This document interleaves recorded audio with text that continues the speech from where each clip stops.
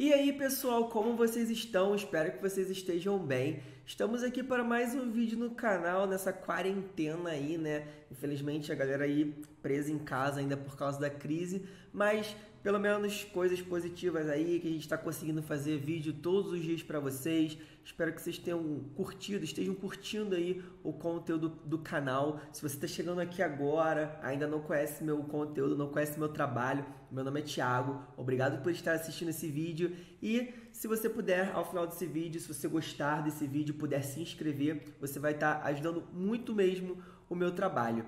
O vídeo de hoje aqui é para falar sobre um novo ciclo de cards no Magic the Gathering, onde você não precisa pagar o seu custo de mana. Sim, é isso mesmo, galera. A Wizards of the Coast, ela ao longo do, dos últimos anos aí, né? Ela tem lançado diversas cartas com designs bem diferentes, tal, testado coisas bem legais.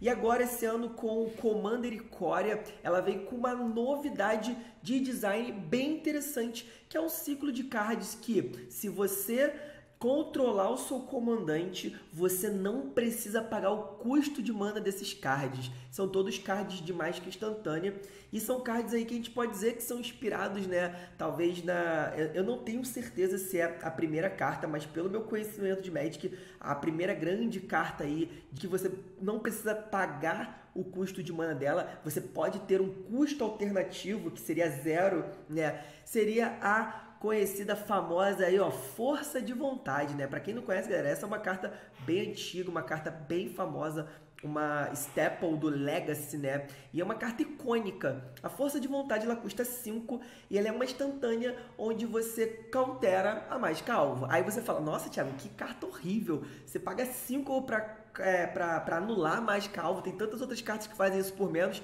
Sim, mas a, o grande detalhe, a grande habilidade dessa carta é: você pode pagar um de vida e exilar uma carta azul da sua mão, ao invés de pagar o custo de mana da, da Force of Will, né? Da força de vontade. Então acaba que você tem uma carta aí que você ah, não precisa pagar o custo de mana para conjurar ela. Imagina só, você é um jogador de controle, tá jogando ali com um deck azul, obviamente, contra outro oponente, e aí você tem que toda hora ficar respondendo, e aí teu oponente faz mágica, você anula, faz outra mágica, você destrói. E aí você fica todo tapado, o teu oponente, ah, agora sim vou fazer aquela mágica para vencer o jogo, aí você vai lá, exila a Force of Will. No Magic, a gente teve outros ciclos também, que eu vou mostrar para vocês agora. O primeiro deles é o ciclo de pacto. O ciclo de pacto saiu lá em Future Sight e ele é bem interessante porque, ao contrário da Force of Will, as cartas realmente não têm custo. Na verdade, tem, mas o custo é zero. Então, todas elas são instantâneas e você não precisa pagar o custo de mana delas na hora que você conjura, só que você tem um pequeno drawback, né? Todas essas cartas são bem fortes, apesar do que a gente tem algumas que jogam mais como as outras. Por exemplo, o vermelho, ela não vê tanto jogo. Quer dizer, eu particularmente não conheço nenhum deck é, de, é, que seja top tier ou até de tier intermediário que joga com essa carta. Nós temos o verde, que essa sim é uma carta muito forte, tem vários to é, top tiers deck do, do Modern que jogam com essa carta. Nós temos o preto, que é uma carta que às vezes vê jogo, às vezes não vê, alguns decks jogam com ela, muitos decks rogue usam essa carta, mas também não é muito comum você ver essa carta. Temos o branco, que também é outra carta que não se vê muito, né? Uh, vê pouquíssimo jogo. E temos aí a azul, que eu acho que de todas elas, junto com o verde, é uma das mais interessantes daí. Também é um, é um dos grandes desejos de jogadores aí de Commander, enfim, uh, de decks de controle, que basicamente é você não. Você countera, né? Você anula mais calvo e você não precisa pagar nenhum custo. O custo dela é zero. Só que aí tem um pequeno detalhe. No começo da sua próxima manutenção, você tem que pagar um custo. Se você não pagar esse custo, você perde o jogo. Essa é a grande, ca... É, é a grande graça aí desse ciclo de pacto, né? Todos eles você tem que pagar um custo na sua manutenção. Se você não conseguir pagar esse custo, você perde o jogo. Então, normalmente, esses pactos vão, vão entrar aí em decks onde ou você vai combar e ganhar o jogo, e esses pactos estão ali é, basicamente para você não ter um próximo turno, então você não vai precisar pagar porque você vai ganhar o turno agora ou normalmente vocês conseguem de alguma forma pagar ou burlar o pagamento desse pacto. E aí vocês se aproveitam. Porém, eu já vi muitos jogadores aí esquecendo de pagar o pacto e perdendo o jogo à toa. Mas Recentemente nós tivemos um outro ciclo também de cards que saiu em Modern Horizons, onde você também podia burlar o custo de mana. Esse ciclo aí é o ciclo de Force, né, de Modern Horizon. Todas as cartas têm esse nome aí de Force, provavelmente inspiradas aí pela Force of Will. O engraçado desse ciclo é que nem todas as cartas são instantâneas, né? Então tem essa curiosidade. A gente tem a carta vermelha que é instantânea e tem uma outra questão que diferente também do dos pactos, né? Esse aqui você tem um outro, uma outra forma de conjurar elas sem pagar. Elas têm um custo diferente do pacto, né? elas estão mais parecidas com Force of Will, por terem um custo de conjuração, ou seja, essa é uma instantânea, você pode pagar os o 3 e fazer ela. Ou seja, você vai criar dois elementais aí uh, e sacrificar no começo da sua próxima manutenção. Só que, se você estiver fazendo isso, se, você, se não for o seu turno, ou seja, se você estiver fazendo isso no turno do oponente, você pode exilar uma carta vermelha da sua mão ao invés de pagar o custo de mana dela. Isso vai acontecer com todas as outras cartas dessa, desse ciclo também.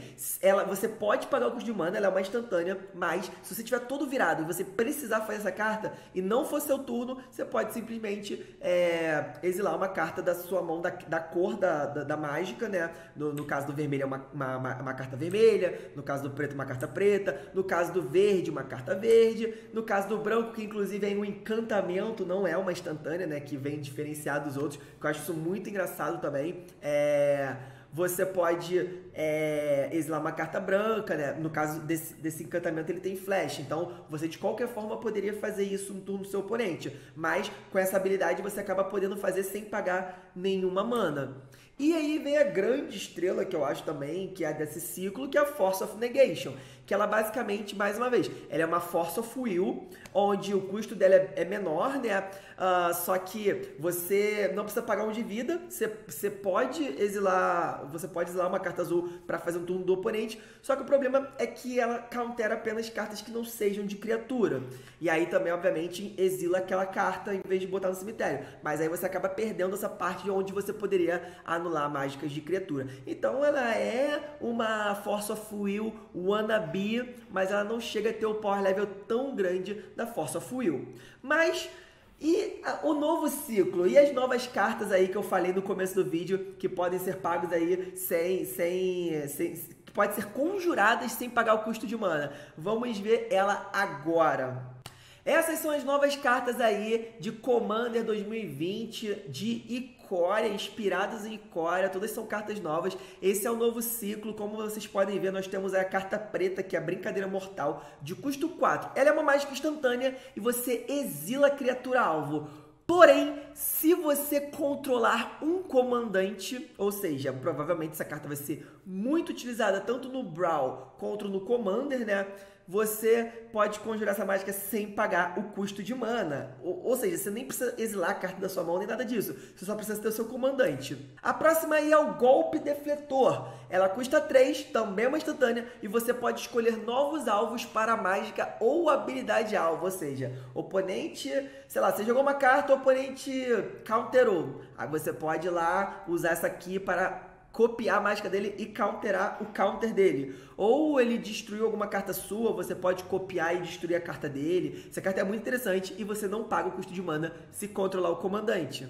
A próxima é Manobra Impecável. Custo 3 também, também instantânea. E as criaturas que você controla ganham indestrutível até o final do turno. Muito interessante para decks de criatura, né? Decks de muita criatura. Sair para proteger suas criaturas de global é bem legal. E se você controlar o seu comandante, você não precisa pagar o custo de mana. Então pode ficar todo virado ali. Se tiver comandante na mesa, pode ficar tranquilo. Enche a mesa de criatura, fica todo virado, que não tem problema. Na volta do seu oponente vai dar um, uma danação você vai lá e dá indestrutível para suas criaturas sem pagar mana nenhum. E ó, lindo. Passando para frente, temos a verde, Brumas Ofuscantes, custo 3, e previna todo o dano que seria causado nesse turno por criaturas que seus oponentes controlam. Uh, se você controla o comandante, você não precisa pagar o custo de mana. Essa aí. Hum, não sei, hein? Não sei. Galera que gosta de verde, gosta de jogar com verde, pode me dizer o que vocês acham. Acho que é uma carta que pode salvar aí o, o jogo, mas eu não vejo como uma carta tão querida para se colocar assim em decks. Eu particularmente que não gosto de jogar de verde no Commander, então não me agradou muito não. Você, jogador de verde no Commander, curtiu essa carta? Deixa aí nos comentários. E vamos para a última aí, Tutela Feroz. Mais uma carta azul que diz: anule a mais calvo que não seja de criatura. Ou seja, essa daqui se assemelha muito lá com Force of Negation. É custo 3, instantânea. E se você controlar seu comandante, você não precisa pagar o custo de mana dela. Essa, para mim, eu como um jogador de azul, como, como, um jogador de controle, adorei essa carta. Acho que é uma ótima adição. Das 5 aí do ciclo, essa obviamente foi a que mais me agradou. E eu provavelmente vou usar ela em alguns commanders que eu que eu possuo. Eu espero que essa carta não fique muito cara, mas eu não tenho certeza se, se isso vai acontecer. Espero que não, de verdade. E aí, galera, o que, que vocês acharam desse ciclo? Eu achei o ciclo legal. Acho que tem algumas cartinhas mais interessantes que as outras. Algumas cartinhas eu quero muito é, comprar, né? Adquirir como azul. Outras nem tanto. Mas eu gostaria de saber a opinião de vocês. Você curtiu esse ciclo, achou legal, aí conhecer outros ciclos também que não precisam pagar mana para conjurar as cartas. É, deixe a opinião de vocês nos comentários aí embaixo. vou trocar uma ideia com vocês sair responder. Sempre respondo a galera. Se vocês têm curtido esses vídeos diários aqui no canal em abril, não esqueçam de deixar like, comentar, compartilhar com a galera. E novamente, se você está chegando no canal agora, curtiu esse vídeo, quer ver mais vídeos como esse, analisando coleções, analisando cards, curiosidades, entre muitas outras coisas que a gente traz aqui para vocês, não deixe de se inscrever no canal, beleza? É isso, galera. Eu vou ficando por aqui e até o próximo vídeo. Valeu!